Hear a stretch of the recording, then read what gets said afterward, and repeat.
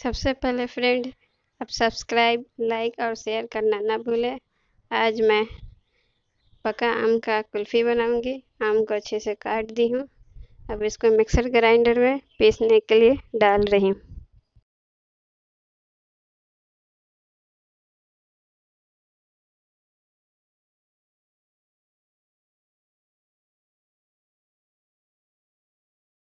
थोड़ा चीनी डालूँगी स्वाद अनुसार।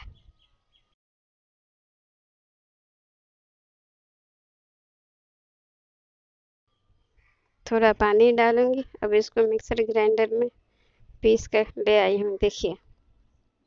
अच्छे से पीस ली हूँ।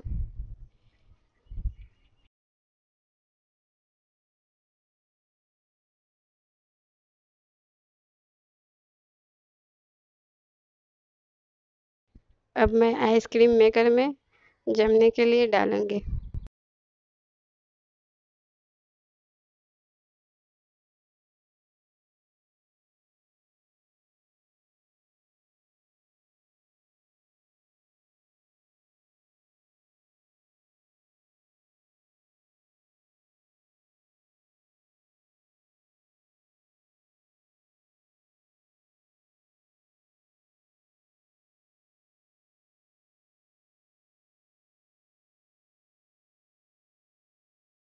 थोड़ा थोड़ा केसर मैं डाल रही हूँ ताकि स्वाद अच्छा लगे।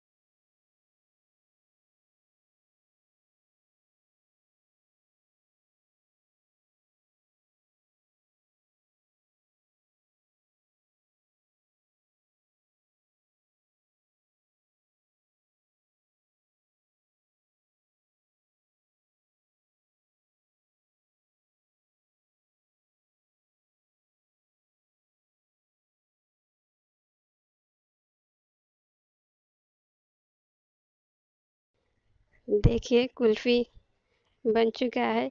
चार या पाँच घंटे के बाद मैं फ्रिज से निकाली हूँ। कैसा बना है कुल्फ़ी हमें कमेंट कीजिएगा। अच्छा लगे तो लाइक कीजिएगा। और प्लीज़ सब्सक्राइब करना ना भूलें।